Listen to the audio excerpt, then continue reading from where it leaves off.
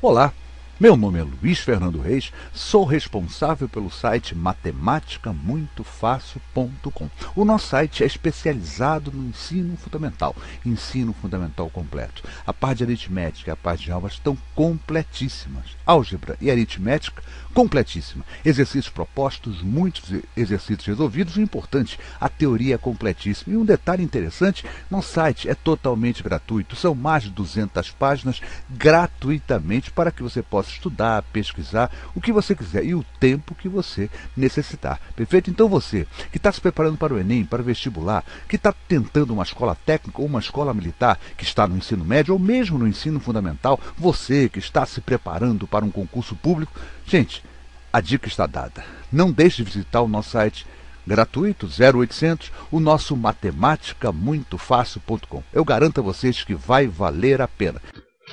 Retornando com nossas resoluções de questões, nós estamos fazendo reforço de conteúdo do assunto geometria e o papo é lei linear de Tales, perfeito? Quer dizer, é um assunto importantíssimo, né? Toda a geometria, a segunda parte de geometria, né? Aquela que vai começar, né? Né, a ganhar vulto realmente, força, com relações métricas no treino retângulo, vai depender desse assunto, da lei linear de Tales. E é sempre bom não confundir com a lei angular de Tales. Né? A lei angular de Tales fala que a soma dos ângulos internos de todo e qualquer triângulo né, vale 180 graus. E a lei linear é essa que nós vamos apresentar agora. Não é isso? Eu tenho aqui um feixo de paralelas, onde o Tales mostra que os segmentos determinados subtransversais a um feixe de paralelas são sempre proporcionais. Perfeito? Então já temos aqui, olha só, nossa figura está aqui, ele quer saber o valor de x. Cadê o x? É o valor de x, né? Que vão gerar essas duas expressões. Tá certo? Então a gente pode escrever o quê? Ó? Esse, esse segmento, olha lá, 2x mais 2 está para esse segmento, ou seja, os segmentos entre né, as paralelas RS, eles estão, são proporcionais, assim como ó, os segmentos que estão entre as paralelas E, S e T. 4 e 7. Poderia ter outra forma de montar? Com certeza. Eu poderia dizer que esse segmento 2x mais 2 está para 4, assim como esse segmento 5x menos 1 está para 7. Perfeito? Vamos lá fazer então? Olha só. Eu escolhi essa parte, ó, fiz essa aqui. Ó. 2x mais 2 está para 5x menos 1, assim como 4 está para 7. E aqui é importante. Olha só, se eu coloquei em cima o segmento dessa transversal A, eu tenho que colocar em cima, né, na segunda razão, o segmento também dessa transversal A. Então eu faço ó, 2x mais 2 está para 5x menos 1, assim como 4, na mesma transversal A, está para 7 na transversal B. Perfeito? E aí é só brincar, né, gente? Aí já é uma proporção. Vamos brincar um pouquinho. Eu tenho 7 que multiplica 2x mais 2. Eu poderia até ter simplificado aqui, né? Mas vamos seguir assim. Não precisa simplificar, não é isso, gente? Não há necessidade, tá?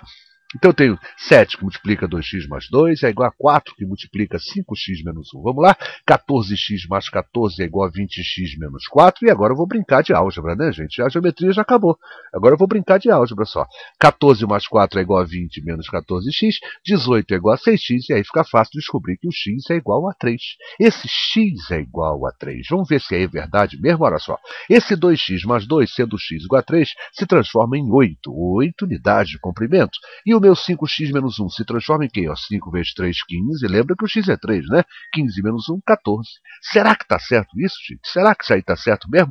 Olha só, quem é o 2x mais 2? Vamos até fazer diferente agora. Ó. O 2x mais 2 é quanto mesmo, hein? 2x mais 2 é 8. E isso está para 4. Assim como o 5x menos 1, que a gente descobriu que é 14, está para 7. Será que está verdade isso? Olha aqui, ó.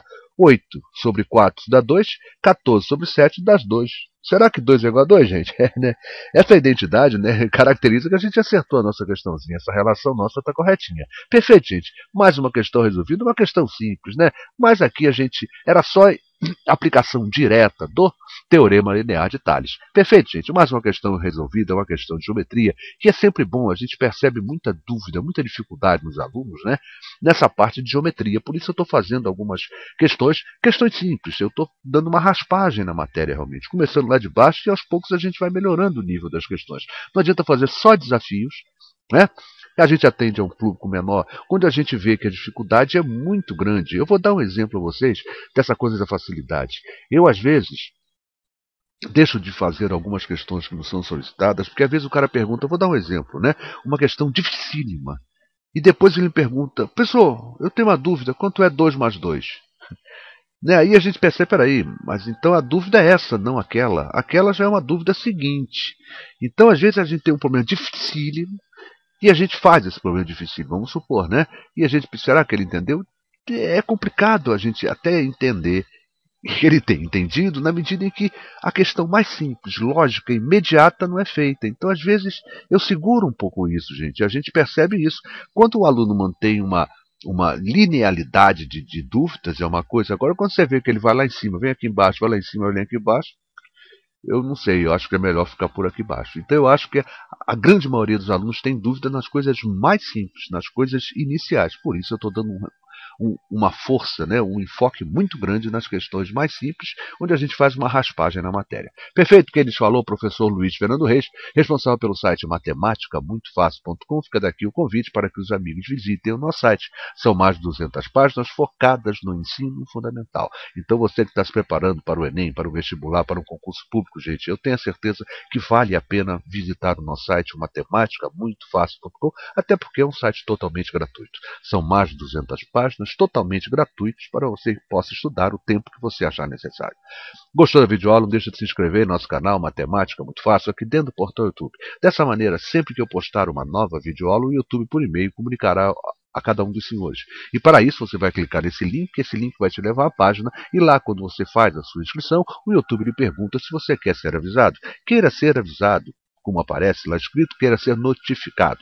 Dessa maneira, sempre que eu postar uma nova videoaula, o YouTube, o portal YouTube, enviará para você um e-mail comunicando que eu acabei de postar uma nova videoaula. Gente, é isso aí. Obrigado pelo carinho, pela atenção e até a nossa próxima videoaula.